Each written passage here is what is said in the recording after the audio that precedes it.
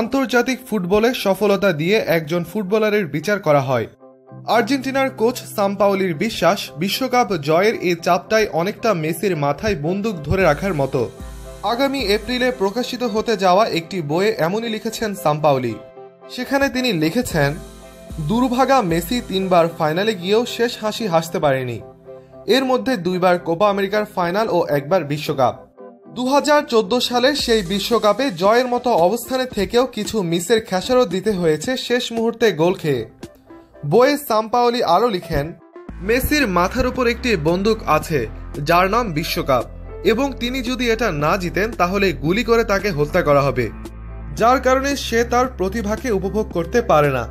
Lionel মেসির জন্য হয়তো এটাই শেষ বিশ্বকাপ। যদি বিশ্বকাপ জিতেন তাহলে হয়তো আগামী বিশ্বকাপ খেলার চিন্তাও করতে পারেন। কিন্তু না জিতলে শেষ হয়ে যাবে মেসির অধ্যায়।